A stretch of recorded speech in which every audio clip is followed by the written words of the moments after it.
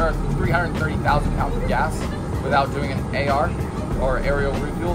And because we have such light cargo, we can that allows us to fill our tanks, all the way, and then not require that AR.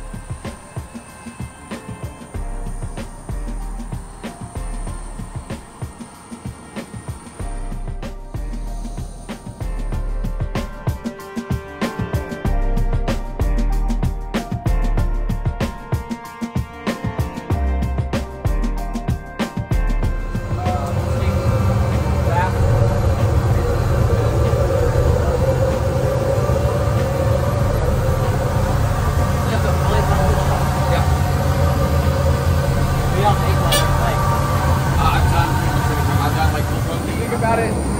That's the cockpit, so all the seats face backwards.